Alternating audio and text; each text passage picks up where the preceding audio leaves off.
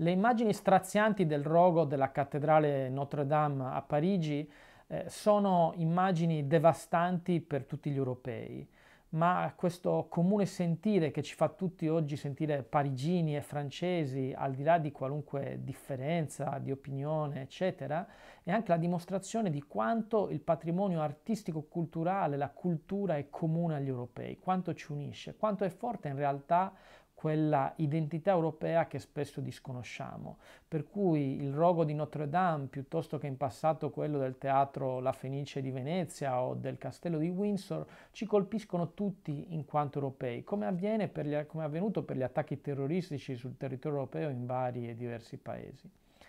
Ebbene, tutto questo eh, ci deve far eh, riflettere sul fatto che in un mondo globale noi possiamo contare e difendere i nostri interessi, i nostri valori solo come europei e che abbiamo delle risorse anche culturali importanti, identitarie per cercare di rilanciare il processo di unificazione. E intanto possiamo dare dei primi segnali di solidarietà concreta rispetto a questa a, tragedia culturale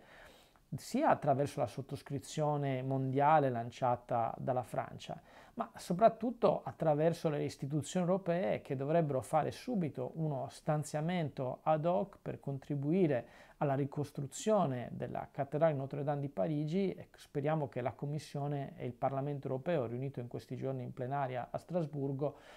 agiscano in maniera rapida e tempestiva per dare un segnale concreto della solidarietà di tutti gli europei, come è avvenuto peraltro in passato in simili situazioni.